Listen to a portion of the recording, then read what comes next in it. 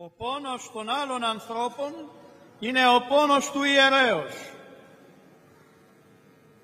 Η ευλογία όλου του κόσμου είναι το αγαλίαμα του ιερέως. Δεν μπορεί να σταθεί ο αρχιερεύς ή ο ιερεύς αν δεν έχει κατά νου κάθε ώρα, κάθε στιγμή ή τι λέγω κάθε λεπτό και δευτερόλεπτο στην ζωή του το χαίρο με τα χαιρόντων και κλαίω με τα κλαιόντων. Είναι παντού παρόν, είναι κοντά στον άνθρωπο και έτσι πρέπει να είναι. Και τώρα έρχομαι να απαντήσω σε εκείνο το οποίο ελέγχθη προημερών από κάποια επίσημα θα έλεγα χίλι ότι οι ιερείς μας είναι αντιπαραγωγικοί.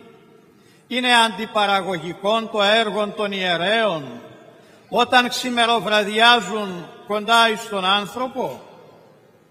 Είναι αντιπαραγωγικό το έργο των ιερέων όταν από τη στιγμή που εισέρχονται εις το Άγιον Θυσιαστήριον μέχρι τη στιγμή που φεύγουν από τον κόσμο αυτόν αναλύσκονται ξεχνώντας ότι υπάρχουν αυτοί οι ίδιοι, ότι υπάρχει η οικογένειά τους, ότι υπάρχουν τα παιδιά τους, ότι υφίστανται ως πρόσωπα οι ίδιοι προκειμένου να δώσουν χαρά, ευλογία, να συμπαρασταθούν εις τους ανθρώπους.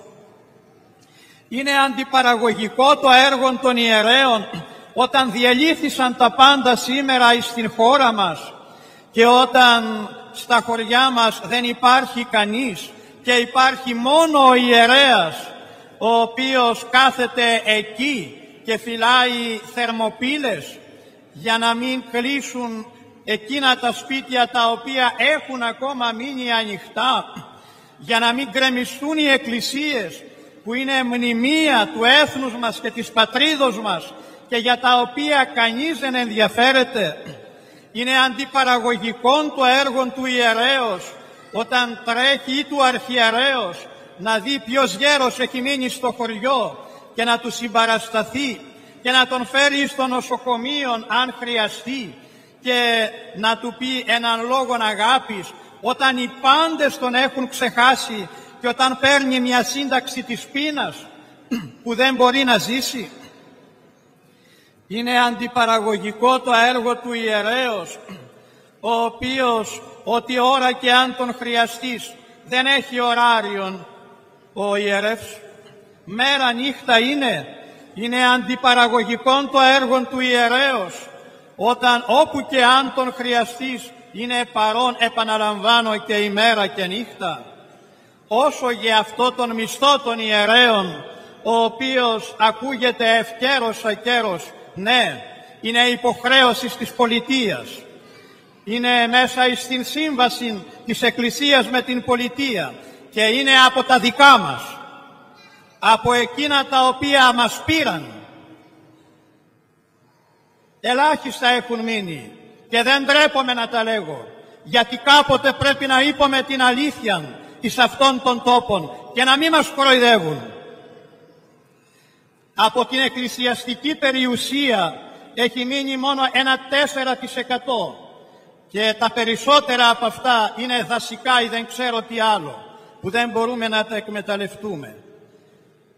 Καλώς έκαναν και τα πήραν και όλα να τα δώσουμε. Ούτε χρήματα θέλουμε. Ας τα πάρουν όλα. Εμείς δεν θα σταματήσουμε ποτέ να παράγουμε έργο πνευματικό και να προσφέρουμε την ψυχή μας. Σας λέγω αδελφοί μου και τούτο αν αυτή τη στιγμή, είμαι βέβαιος για τους ιερείς μου, αν αυτή τη στιγμή υποθεί, λέγω αν, δεν το πιστεύω βέβαια, αλλά αν υποθεί, ότι δεν τηρώνονται οι ιερείς. Κανείς ιερέας μου δεν θα φύγει από την ιεροσύνη, αλλά αντιθέτως θα συνεχίσει να υπηρετεί την Εκκλησία και τον άνθρωπο, γιατί ο ιερεύς δεν κάνει ένα επάγγελμα, αλλά κάνει ένα λειτουργήμα. Είναι ο Χριστοφόρος, είναι ο Θεοφόρος άνθρωπος, είναι ο θεωμένος άνθρωπος. Αδελφοί μου, συγχωρέστε με που, το είπα, που τα είπα όλα αυτά, αλλά θέλω να τονίσω αυτή τη στιγμή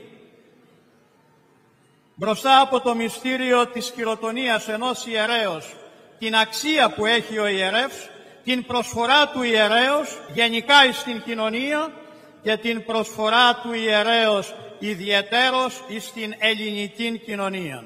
Παιδί μου, συνέχισε να εργάζεσαι όπως εργάζεσαι και ακόμα περισσότερο. Αδελφοί και πατέρες, στα πρόσωπά σας εναγκαλίζομαι όλους τους ιερείς της Μητροπόλεως μου, αλλά και όλους τους ιερείς της Ελλάδος θα έλεγα. Και θα ήθελα να εκφράσω ένα μεγάλο ευχαριστώ για ό,τι προσφέρετε στην κοινωνία μας, στην πόλη μας, στην πατρίδα μας, στον λαό μας, για το παραγωγικό σας πνευματικό έργο. Πατέρες, αδελφοί μου αγαπητοί, είναι η ώρα της Εκκλησίας. Αυτή τη στιγμή πρέπει όταν ο άνθρωπος έχει χάσει την ελπίδα, όταν έχει χάσει τα στηρίγματά του, εμείς να πούμε ναι, η Εκκλησία είναι η μεγάλη μας μάνα, είναι η στοργική αγκαλιά, είναι εκείνη που αγκαλιάζει όλους τους ανθρώπους, όχι για κανένα άλλο λόγο, αλλά είναι πάντας σώσει, ως λέγει ο Άγιος Απόστολος Παύλος.